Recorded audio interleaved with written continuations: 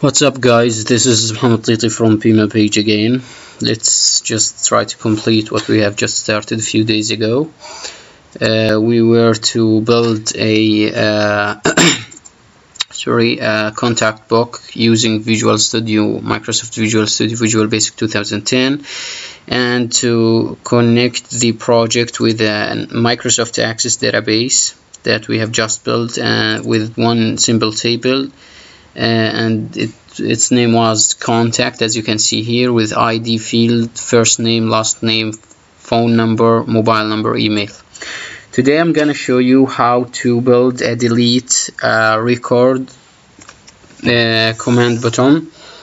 Uh, command button to uh, th that uh, had that has a, a procedure that can be executed to delete some records from our database. First of all we go we can just go through the uh, functionality quickly because it's the, the concepts are already being illustrated.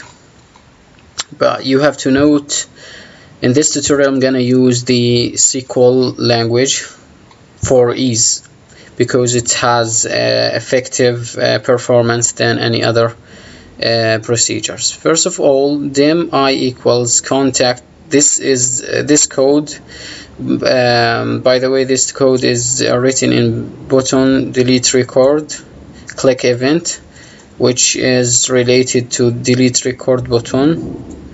This has name button delete record with uh, with text as you can see delete record. Okay. Now let's go on. Dim i equals i is an integer that has the value of the number of selected rows uh, in the contact view. So the uh, first you, as you can see the program orders a selected a number of selected rows. You know when a user wants to delete some records they uh, he selects them first and then he deletes the or he or she or the user in general deletes the record after selecting them. So the number of the selected rows the count of the selected rows are is, is uh, stored in uh, the integer number i. Now dim are you sure as message box result this to store result of a confirmation message box? If yes or no you you, you can uh, imagine the situation. Once the user selects the records and clicks um, clicks uh, delete records uh, a confirmation message should uh, show up and saying are you sure that you want to delete number of records from the contact yes or no? So the result is uh, stored in are you sure the result is stored in sure now my connection dot open this statement is uh, appears again here in this uh, procedure because I have to use it each procedure. For example here my my connection in save changes my connection dot open and after save changes my connection dot, dot close as well as in delete record my connection dot open and each time I uh, exit the procedure my connection dot close okay so that's it. Um, now let's go let's let's complete the uh, procedure if no records are selected then show message uh, let's let's just try to illustrate the concept of why using my connection dot open and my connection dot close as we said before that this program or this application deals with a data set not the data source itself not the database itself. But we have an adapter as you can remember and the data set. The, data, the data set deals with the adapter and the adapter relays each command to the database and modifies it so to update the dataset each time I have to close the connection and reopen it. But anyway if no records are selected if the, no records are selected yet the delete record uh, button uh, is uh, clicked then a message like this should appear. Please select records to be removed. So you have to select first. So this is a delete. The title is delete. It's an information message. This is the prompt of it and uh, to give the user another chance to click uh, another chance to click again we close the connection again and we exit the sub to give him another chance to try to to select and then click delete. Dim rows contact view we we here declare uh, an array to store the selected rows to store the selected rows okay? So this is a data grid uh, view row data type of this array. And the number of elements are the number of selected rows minus one. The number of selected rows one minus one. Here I can choose I but anyway never mind. Below stores each selected row in the array. It stores each selected row in the array. So k is an integer simple integer for the rows uh, array indexing. And um, this is a for each statement. For each row in the contact view selected rows just store the row in its uh, position in the array rows and increase the index. Very simple statement. Now below shows the confirmation message and stores the result taken by the user in are you sure? variable. Are you sure? equal messages. Are you sure that you want to delete? Number of records is i records from contact. So let's just try to execute it as fast as possible uh, try to add.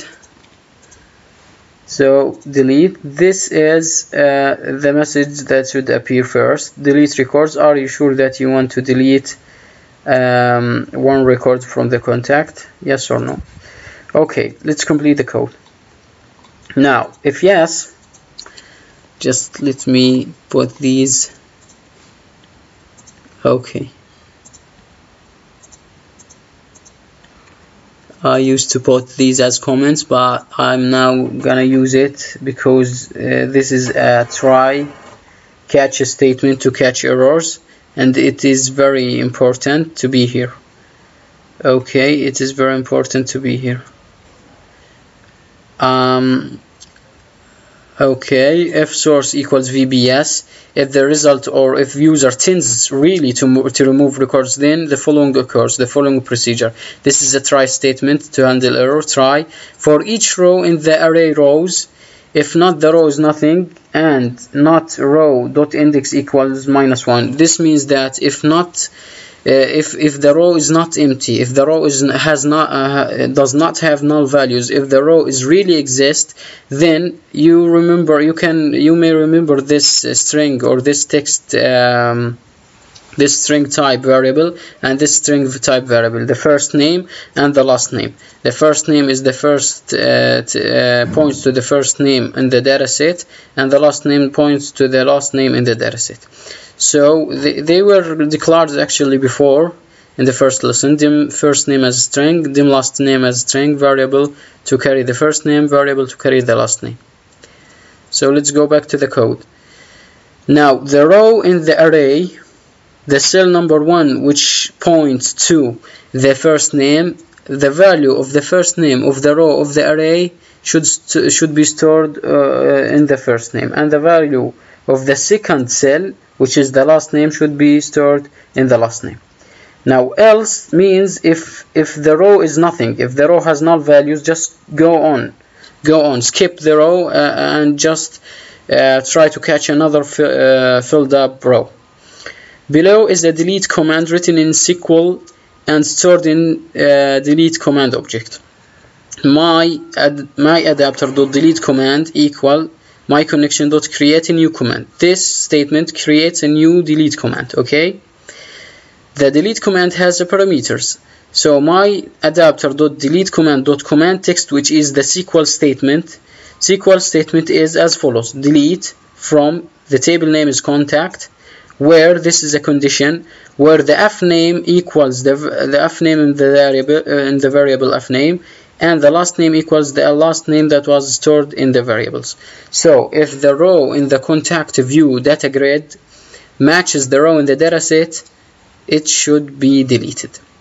My adapter, uh, my delete command dot execute query. After translate, uh, trans, uh, transferring the SQL, uh, the SQL statement or SQL command to the adapter, just command the adapter to be to execute the delete command. Okay? Example f name John last name Smith. So everything uh, every row that has John Smith with anything here should be deleted from the dataset and then the database. Sorry okay. Update the data set after deleting records because as I said before we are dealing not to, uh, within the data source directly. We are dealing with data uh, set so we have to update it each time we delete a record. Dataset.reset and my adapter.fill dataset fill the adapter if, uh, go to the adapter and command it to fill the dataset with the new modified table with the deleted rows and here we are refreshing and updating also the data grid on the form in the runtime. Contact view.data source. Again assign the data source after uh, modifying the contact after deleting records.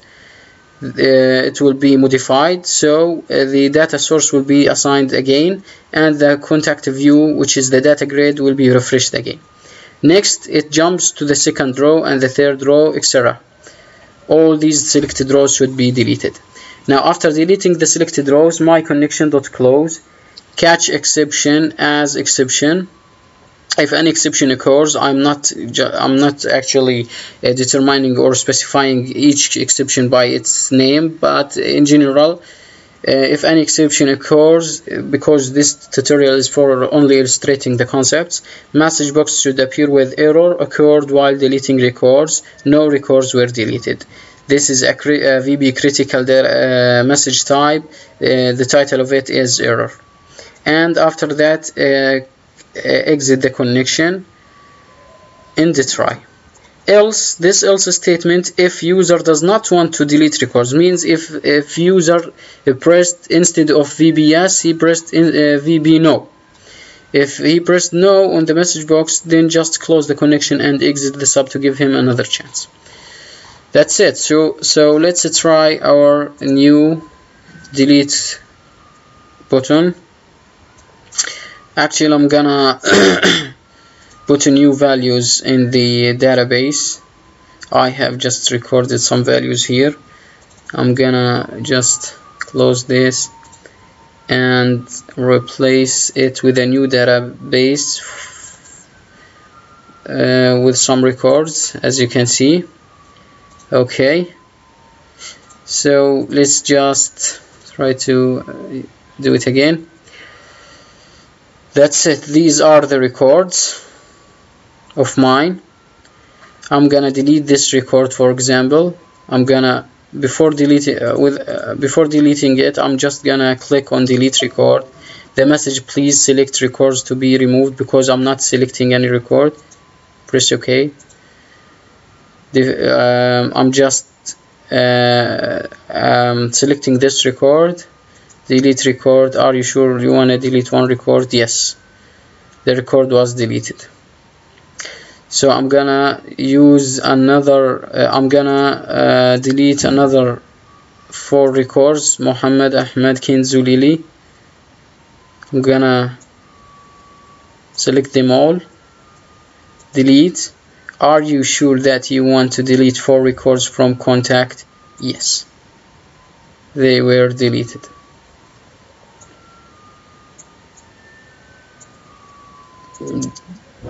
are you sure that you want to delete four, four records? Um, there is a problem here in defining the ID number because I am putting the ID they uh, they were deleted actually here from the database. No records but two still remains this uh, as they are because there is some problems in uh, just um, the viewing or the numbering of the ID I'm just gonna change the uh, data type of the ID in the database to an auto number data type okay? After changing to an auto number data type well I have to close this and um, just I'm gonna change it to an auto number. Yeah sorry wait we have to delete in order to uh, in order to change uh, the properties of the primary key you have to delete each value in the uh, table. Just auto numbering and put it as primary key. Yes. So no duplicate. Okay. Save the table and again I'm, I'm gonna just um, copy the values that I have put. Okay. These are the values. Okay just copy to our database. Paste. Yes okay the, uh, these are the records. I'm gonna just uh, try to run my application again and try to delete two of, of the records. For example Raji and Kenzu. Delete records yes. So as you can see here this is a Raji uh, with a, with another another name.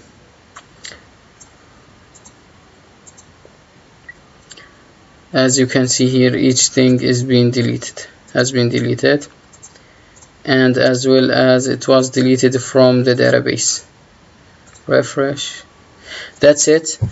I hope you uh, enjoyed the lesson and the tutorial. This um, was the concept of deleting. Just uh, some of records from the database. Wait us for a new tutorial to learn more and more about connecting databases of Microsoft Access with the Visual Studio Visual Basic 2010 bye